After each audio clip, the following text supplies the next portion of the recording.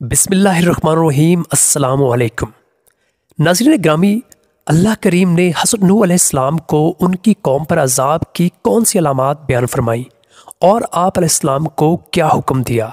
यही आज की हमारी वीडियो का मौसू है। मगर वीडियो में आगे बढ़ने से पहले हसब रिवायत, अगर आप हमारे चैनल पर नए हैं तो बर मेहरबानी हमारे चैनल इमोटल इस्लाम को सब्सक्राइब कीजिए और हमारी वीडियो को लाइक करके हमारी हौसला अफजाई कीजिए। तो चलिए नाजरीन, बढ़ते हैं मौसू की जानब। तो जब हज़रत नू अलैहिस्सलाम कश्ती बनाने में मसरूफ़ रहे, यहाँ तक कि उनकी कौम पर अजाब नाजिल होने और उनकी हलाकत का वक्त आ गया तो अल्लाह ताला ने हज़रत नू अलैहिस्सलाम से उस अजाब के नाजिल होने की अलामत बयान फरमाई। अल्लाह ताला ने हज़रत नू अलैहिस्सलाम से फरमाया कि जब तुम तनूर में से पानी जोश मारता देखो तो समझ लेना कि अजाब के नजूल का वक्त आ पहुँचा।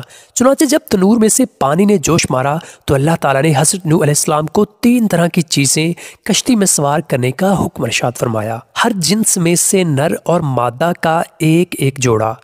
हज़रत हसन रहमत फरमाते हैं, हज़रत अलैहिस्सलाम ने अपने साथ उन तमाम जानवरों का एक एक जोड़ा कश्ती में सवार कर लिया, जो बच्चे जनते हों या अंडे देते हों। जानवर आप अलैहिस्सलाम के पास आते और आप अलैहिस्सलाम दाएँ हाथ से नर और बाएँ हाथ से मादा को पकड़कर सवार करते जाते। बाज़ बुज़ुर्गों से मरवी है कि सांप और बिच्छू ने हज़रत नू अलैहिस्सलाम की बारगाह में हाजिर होकर अर्ज़ की कि हमें भी अपने साथ सवार कर लें।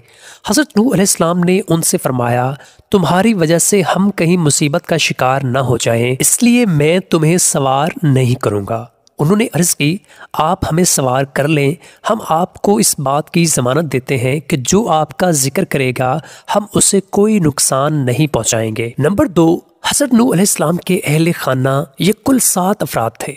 हज़रत नू अलैहिस्सलाम इनके तीन बेटे साम, हाम, याफिस और इन तीनों की बीवियाँ। नंबर तीन, वो लोग जो हसन नू अलैहिस्सलाम पर ईमान लाए, ये कुल अस्सी अफराद थे।